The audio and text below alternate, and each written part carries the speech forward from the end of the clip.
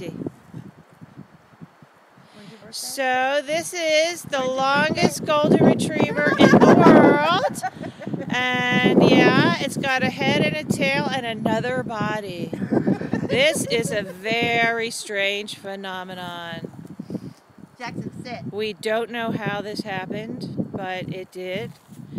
And we hope you appreciate it.